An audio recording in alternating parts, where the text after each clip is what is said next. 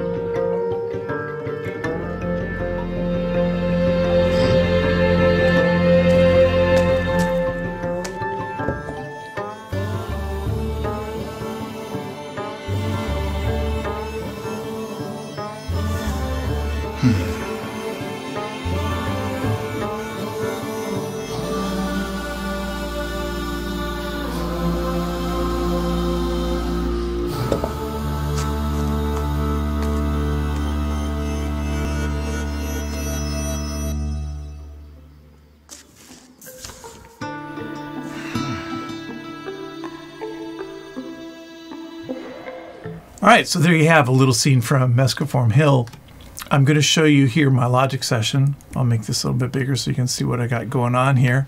Uh, I mentioned some traditional instruments. Through a lot of the score, I was using Balafone. If I did use Balafone, I usually didn't use it straight. I usually added some sort of delay or, well, in fact, I have one track here that I can show you.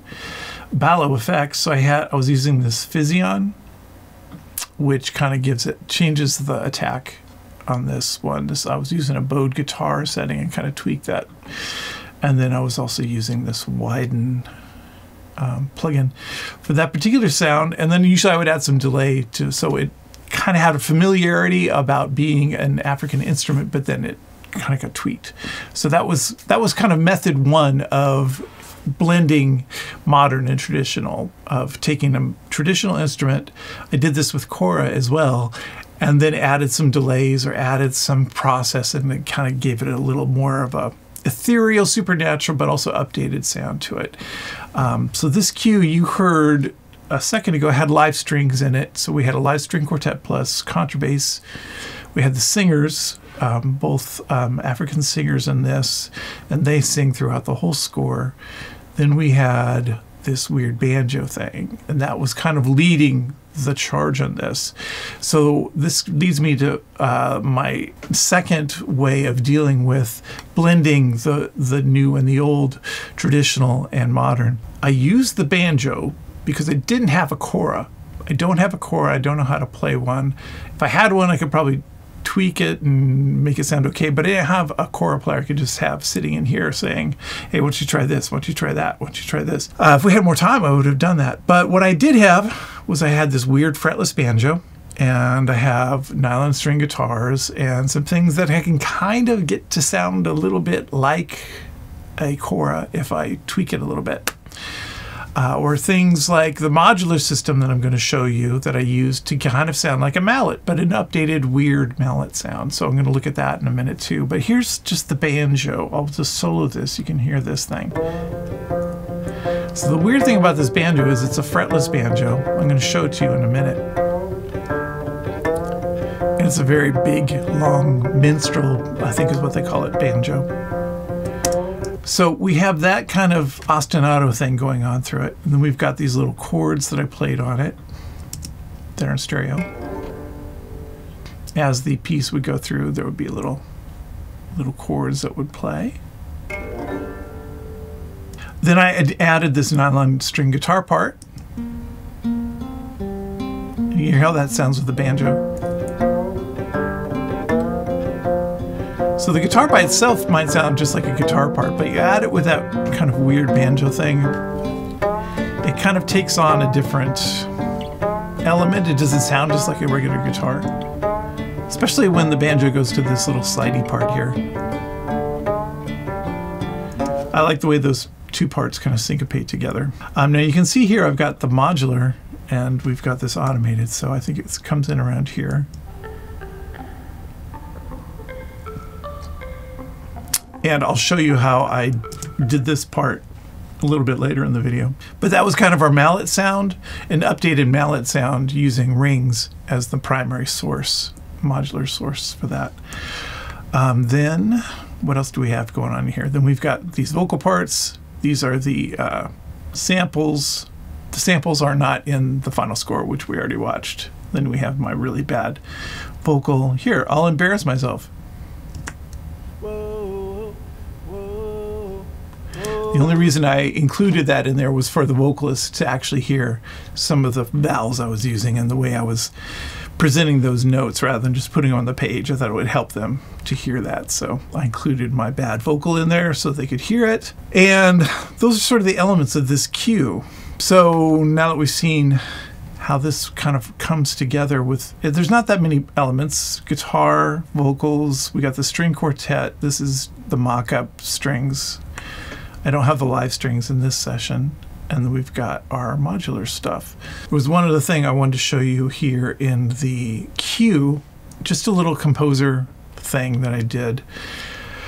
In the scene, you can see that the characters are looking for clues. They're looking around this demolished house trying to see trying to see if they can find what had happened. And so the cues in five until this moment so you'll see Ade's looking around. He spots a picture over there. As soon as he holds the picture, then we switch to 4-4. Now what you're seeing here is a placeholder picture. We didn't have the final art in for the version that I was composing to, but we knew this was going to be a key moment in this scene where Ade finds something that's important uh, to figuring out the answers. If you watch the, the video, you'll see. So that's why we change over to five from 5-4 to 4-4 here right in that moment.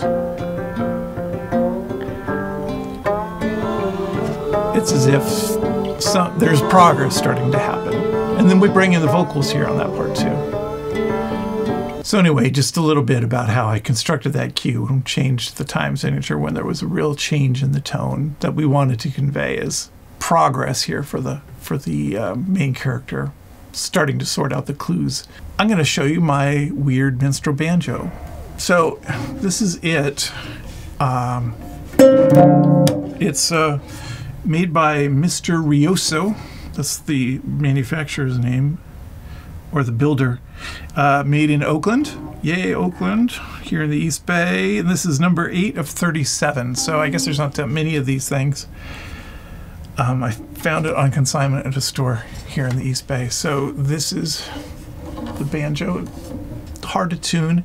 How do I tune it? I just tune it to whatever piece I'm working on. So I kind of get this one tuned up to the uh, to the cue here. So that's basically, it was a simple part.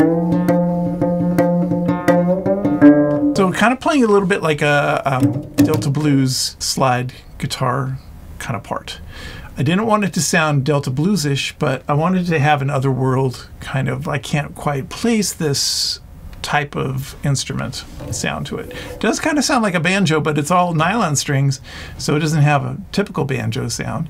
It's got this more mellow, and it's a very long neck. Uh, you can get pretty low. There's one one cue right when the main character Ade is going to go in the forest you see his face, he's kind of scared, and you hear this. so if you watch it, you'll you'll hear that part, and that's just the low string of this banjo. Um, so this banjo has a lot of. It's even weird calling it a banjo because it didn't really fit what a banjo is, except that it's got this round skin head, uh, drum drum head kind of thing. Anyway, it's a lot of fun to play, and it was fun to come up with parts for this uh, particular piece. Okay, so that's that's the the banjo part that I was going to show you. Now I'm going to take you over to the other side of the room over there, and we're going to check out the modular setup that I used to create some of the sounds that you were hearing here. So um, how I clocked it and how I made it work uh, within this cue. So um, we'll check that out now. So here is the basic setup. So let's come down here. So down here at the bottom of my rack is sort of my uh, clock stuff. So I can take a clock directly from Logic going here. I'm not doing that because it gets complicated with recording uh, everything. So just do it easy. I set up PAMs to do this. So I have a couple things I can run clock and run that into other things. Um, yeah, this Doepfer and this other ALM. Right now, I'm just going to use PAMs. Um, I'm not going to give you an in-depth thing about PAMs. Hopefully, you know how it works. Uh, I've basically got the BPM to set uh, set at 80. BPM setup, which is the same as the song. And then um, I'm taking output 2 of this white here. And you can see how I've got that subdivided. That is coming out, going into my Pittsburgh um, sequencer. Okay, so micro sequencer B. I love this sequencer. I think it's really pretty rad. I like this one too, this little Erica one. For this, uh, I'm going to show you this because this is what I used on the piece. That goes into scales here, and I have just an F, my, uh, F major scale worked out here. Coming out of scales, I've got that going into here, and then this will double the signal. One of them is going to B's chalkboard, so I can quickly change the um, octave, which you'll hear here, and that's coming out going into in rings, which is basically like mutable instruments rings. This one's from After Later Audio.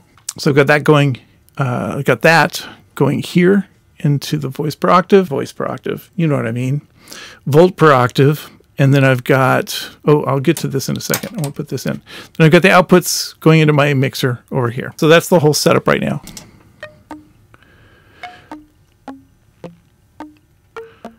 So it's pretty basic. You can hear what I'm doing there. What I was doing was just generally playing with some modulation, and then I would play with these sliders. I know everything's going to come out as F major, so I'll just play with these notes. And I kind of love the randomness of this. And then you can change a direction, you can change you can change a lot of things in this one that I enjoy. You can change the direction.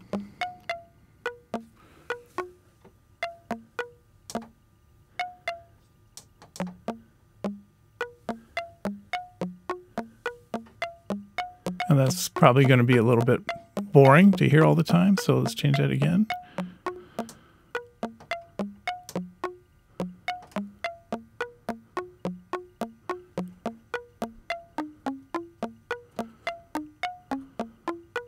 So it was just that process going through and playing with these different uh, directions, playing with this sequence until I found something that was enjoyable. Then I might go up here and tweak some of these things, move up here to rings. You know, I might go up here and play with some some of these things. Or I would just take what I've got here is I've got this Octasource from Erica. I might put it into something like position. And you get a little modulation there. You change the rate or the wave. I really love this one for randomizing some modulation stuff. It's pretty fun. If I wanted to, I could sync this off of one of these clocks. I kind of like the randomness of it, however, to go through and do that. Or I could change. So right now it's I'm changing position. I could change shape. Now we're getting some different sounds out of the shape just by one little modulation here. And then I can go back and tweak this. So I, I didn't get too complex with it.